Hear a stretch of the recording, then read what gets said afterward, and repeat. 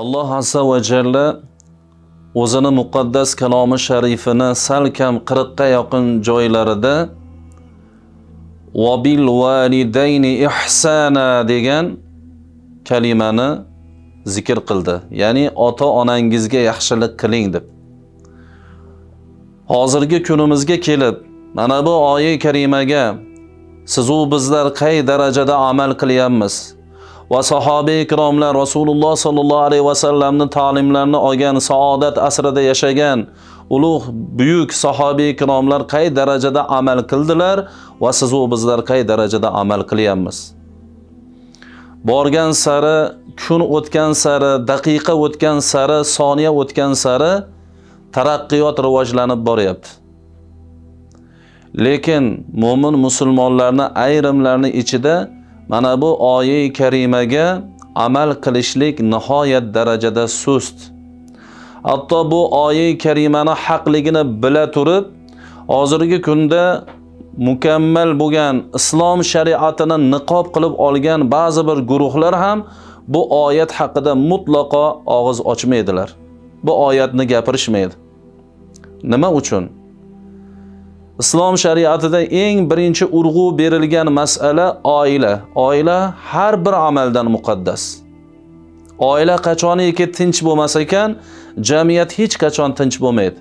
Mana shu oilani ham ustuni bo'ladi. Oilaning ustuni va barokati ota bilan ona bo'ladi. Alloh subhanahu tabaraka va taolo mana bu joyda vabil validayni ihsana deb to'xtatganda ham bo'lardi.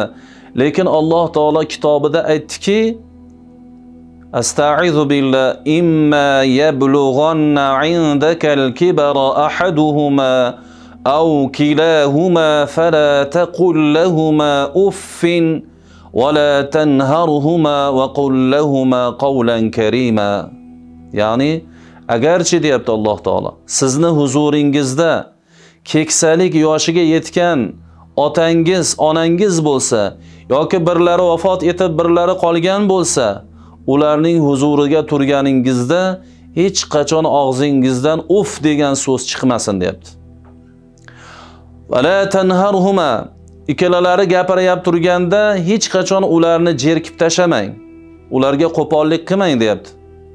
Va qul lahuma qawlan karima agar siz tomonidan so'z aytilishlik lozim bo'lganida faqatgina eng chiroyli eng go'zal eng saxovatli bo'lgan so'zni ayting deyapti alloh taolo.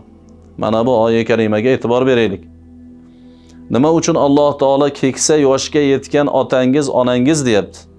Chunki yosh ota ona o'zini o'zi bemalol eplaydi. Insonni yoshi ulg'aygandan keyin ko'zidan nur ketadi beldan quvvat ketadi. U kimgadir muhtojligini sezadi. Muborak tishlari to'kilib ketadi. Soch soqollari oppoq bo'ladi. Mana bunday holatda albatta ota farzandga o'ta muhtoj bo'ladi. Shuning uchun ham keksa insonlar o'ta injiq bo'ladi. Fe'li ham og'irroq bo'lib qoladi. Sal narsani ko'tara olmay qoladilar yuraklari bardosh bera olmay qoladilar. Shu sababli alloh azza va jalla alohida ta'kid qilyapti. Keksa yoshga yetgan otangizni huzurida turganingizda yoki onangizni huzurida turganingizda hech qachon ularga uf demang. Ya'ni ular ko'p gapirganda ey ota qisqaroq qiling ey ona qisqaroq qiling meni majlisim bo'lib qoldi vaqt falonchi meni kutyapti deb ko'ngliga ozor beradigan so'zlarni gapirmang. Yoki bir og'irroq ishga buyurganda quvvatingiz yetmagan taqdirda ham "Ey, buni man qilmayman deydigan so'zlarni ishlatmang degan mazmun yotibdi. Ularni ko'ngliga ozor beradigan so'zlarni mutlaqo aytmaslikka Alloh buyuryapti. Hatto uf degan ikkita so'zdan iborat, ikkita harfdan iborat. Mana shu so'z to'yib ketdim degan ma'noni ishlatadi. O'z ichiga oladi. Shu sababli mana bunday so'zlardan ehtiyot bo'lish kerak. Ularning huzurida turganda gapirishlik lozim bo'lganda hozirgi zamonning eng mukammal shoirlari ham so'zda ta'riflolmaydigan eng chiroyli so'zlarni kimga ishlatishligimiz lozim? Faqatgina ota va onaga. Mana bu zotlar eng dunyodagi chiroyli kalomga haqli zotlar hisoblanadi. Shuning uchun Alloh alohida o'zining oyi karimasida marhamat qilyapti. yana alloh azza va jalla oyi karimasini davom ettirib marhamat qilyapti vahfid lahuma janaha zulli minar rahma siz ularni huzuringda turganingizda rahmatdan bo'lgan xorlik qanotingizni quyi tuting deyapti. Insonda ham qanot bo'ladimi? Yo'q bu majoz. Shunday holatiki bir tafakkur qilaylik deydilar mufassirlarimiz. Qush o'zini polaponlarni yangi tuxumdan ochganida polaponlari juda ham ojiz bo'ladi. Hali qanotlari chiqmagan bo'ladi. Onasi tumshug'ida bir oziqani olib kelganida oltita polapon bo'lsa oltitalari baravariga qanotlarni yerga urib o'zini ojizligini bildirib onasini rahmini keltirishlikka harakat qiladi. Biz qanday maqomda bo'lishligimizdan qat'iy nazar qanday darajaga yetishligimizdan qat'iy nazar. Keksa bo'lgan ota yoki onani huzurida turganimizda xorlik qanotimizni quyi tutib olishligimizga o'ta kamtar o'ta o'zimizda zaifligimizni bildirishlikka alloh taolo qur'onda ishora qilyapti. Ba'zi bir insonlar bor otalari onalari eshikdan kirib kelsalar o'rindan turmaydiganlar ham bor. Kibr bilan gapiradiganlar ham bor. Unday emas balki otaning huzurida turganda go'yoki eng katta insonni huzurida turgandan ham ko'ra zaifroq holatda turishligimiz lozim bo'ladi. Mana bu alloh azza va jallani sizu bizlarga beryapti turgan ta'limi. Mana shunda ota ona xursand bo'ladi. Ota ona bemalol nimaiki dardlari bo'ladigan bo'lsa aytadigan bo'ladi. Shuning uchun farzandlar tez tez ota onani huzuriga o'zlari yoqtiradigan eng shirin eng lazzatli taomlar bilan xursand qilishligi va duolarni olishligi eng katta sharaf. Chunki payg'ambarlarni duosiga tenglashtirilgan zotlar faqatgina ota onalar ularni duolari go'yoki payg'ambarlar o'z ummatlariga qilgan duolari qay darajada tez qabul bo'lsa ota va onani farzandining haqqidagi qilyapti turgan duolari shu darajada tez qabul bo'ladi. Janobi payg'ambarimiz muhammad mustafa sollallohu alayhi vasallam marhamat qiladilar. An-nazaru fi wajhil abawayni ibadah. Ota bilan onaning yuziga nazar solishlik ham ibodatdir dedilar. Demak farzand ota onani yuziga tabassum bilan rahm shafqat nazari bilan shunday jilmayib qarab turishligi ham Allohning nazdida ibodat savobiga tenglashyapti. U degani tafakkur qilish kerak. Farzand otani onani muborak chehrasiga qarar ekan men sababdan shu otamni muborak qop qora sochlari oqardi. Men sababdan ko'zlarining nuri pasaydi. Men sababdan bellaridan quvvat ketdi. Har bir to'kilib turgan tishlarida mening ham hissam bor deb farzand mana bunday holatda turishligi rahm shafqat qilishligini o'zi ham ibodat darajasidagi savob.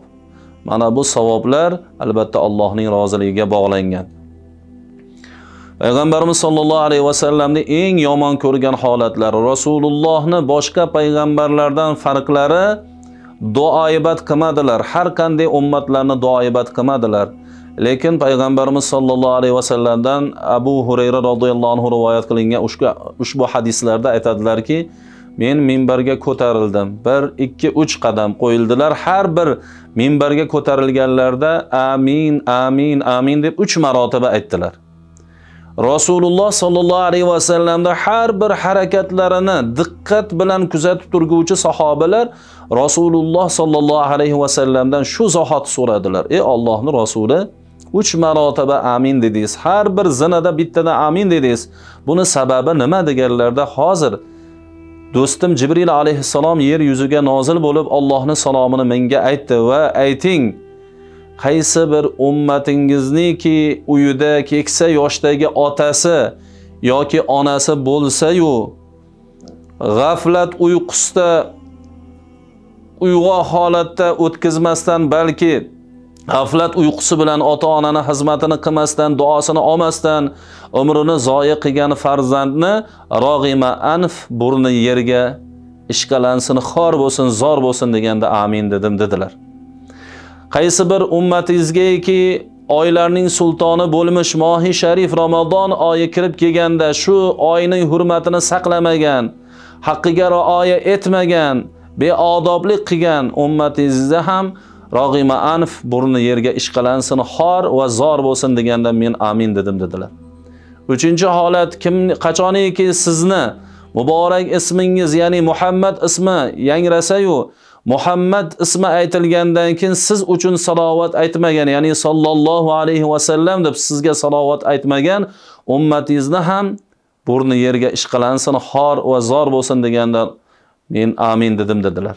Demak azizlar hushyor bo'laydigan holat huzurimizda omonat bo'lgan ota ona turganda sizu bizlar turli xil narsalarni bahona qilib ota onani huzuridan uzoqlashib judayam kam ziyorat qilib mutlaqo hatto oyda ham yilda ham ziyoratiga bormaslik va o'tib ketgandagi ayuhonna solib yig'lashligimiz foyda bermaydi azizlar. Shuning uchun bu ne'matni vaqtida qadrlaylik va Alloh azza va jallani roziligini topaylik va Allohning roziligi ota bilan onaning roziligiga bog'langan.